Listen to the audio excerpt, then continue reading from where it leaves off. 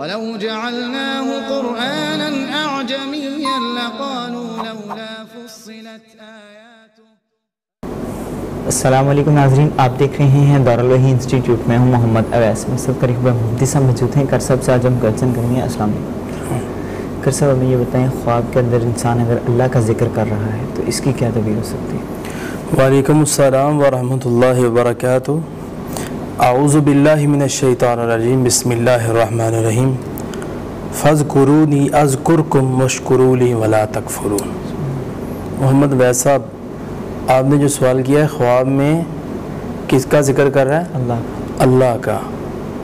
लफ्ज़ अल्लाह ही बहुत बड़ा है। समझ आती है ख्वाब बहुत ही बड़ा ख्वाब है। तो उसकी तबीर भी बड़ी होगी। क्योंकि अल्लाह ख़ुद भी बड़ा है। तो जिसको ख्वाब दिखा रहा है वो इंसान भी बड़ा हो जाएगा सुभान।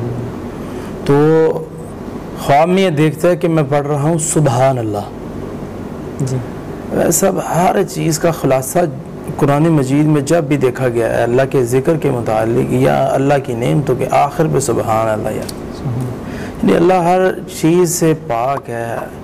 हर चीज़ ये नहीं हो सकता कि अल्लाह का फलां काम जो अल्लाह से नहीं हो सकता।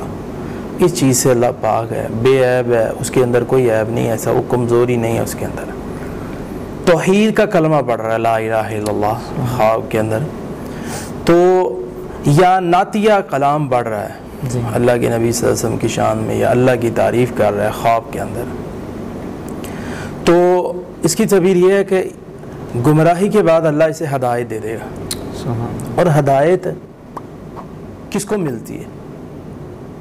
जो अल्लाह का पसंदीदा बंदा होता है। मैं यूरी दिल्ला भी खैरन युफ़ फ़िद्दीन जिससे अल्लाह इरादा कर लेना कि मैं इस शख्स को दीन की तरफ़ ले आऊँ तो अल्लाह उसे हदायत दे देता है। दीन की समझ बूझ अदा अदा कर अता कर देता है।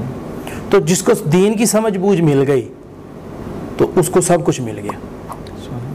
और इसी तरह गम और सख्ती के बाद अल्लाह रब्बुल आलमीन सुकून अदा कर देगा।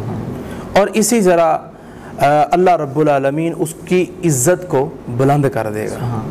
और इसी तरह अल्लाह रब्बुल आलमीन उसको मायूसी के बाद औलाद से नवाजेगा।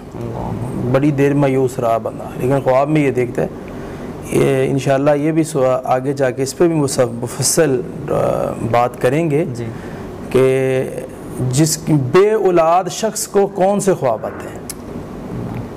तो ऐसे ही अ, मायूस शख्स को कौन से ख्वाब आते हैं? तो मायूस शख्स है ख्वाब में अल्लाह का ज़िक्र करता है तो अल्लाह रब्बुल आलमीन इस बंदे को औलाद से नवाजेगा और इसी तरह ख्वाब में उसने सुबहान अल्लाह पढ़ा है। दूसरी उसकी तबीर ये है कि अल्लाह उसको बुलंद मुकाम देगा। एक इसकी तबीर ये और भी है वो ये है कि अल्लाह उसे शहरत अता कर दे। ये चीज़ की मुख्तलिफ़ तबीरें। बहुत शुक्रिया कर साहब। जी नाजरीन किसी भाई बहन को ख्वाब आए तो ज़रूर कर साहब का नंबर नीचे मेंशन है रब्ता कीजिएगा रिप्लाई इंशाल्लाह ज़रूर मिलेगा। अगले प्रोग्राम में फिर हाजिर होंगे तब तक के लिए हमें इजाज़त दीजिए अल्लाह बेहतरीन सदका जारियाँ हासिल करने के लिए इस वीडियो को लाइक करें शेयर करें और कमेंट करें।